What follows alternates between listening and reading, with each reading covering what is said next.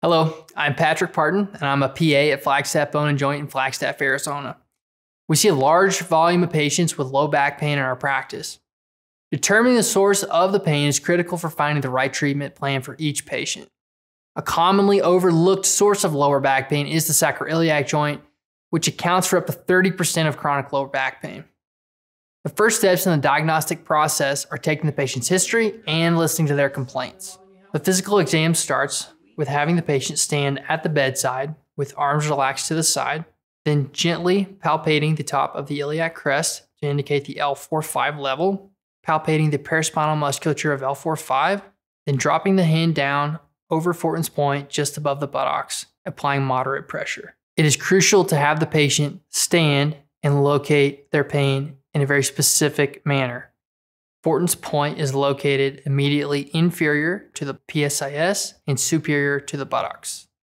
Then we perform a series of provocative tests that attempt to provoke the patient's usual pain. The following five provocative tests are commonly used. When performed in combination, they have a high degree of sensitivity and specificity. For the distraction test, the patient lies in a supine position with the patient's forearms crossed. The examiner applies slow and steady outward pressure the left and right ASIS, spreading them away. The test is considered positive if the patient's pain in the SI joint increases. For the Gaenslen's test, the patient lies in a supine position with the tested side leg hanging over the edge of the table and the other leg flexed to the chest. The examiner applies firm pressure to the flexed knee, and counter pressure is applied to the knee of the hanging leg. The procedure is then repeated on the opposite side. The test is considered positive if the patient feels pain in the hanging leg side. For the Faber test, the patient lies in a supine position.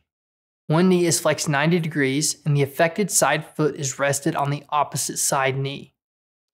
The examiner presses the contralateral anterior superior iliac spine against the table and pushes the bent knee down toward the table.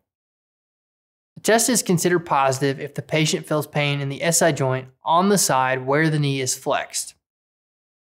Pain in the buttocks is suggestive of SI joint dysfunction, whereas pain in the inguinal region may indicate hip pathology.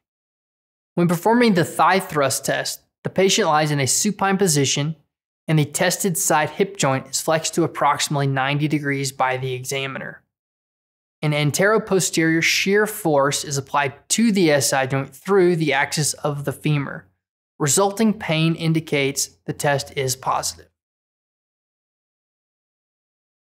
In the compression test, the patient lies in the lateral decubitus position with the affected side up and facing away from the examiner. Downward pressure is applied to the ipsilateral iliac crest and ASIS.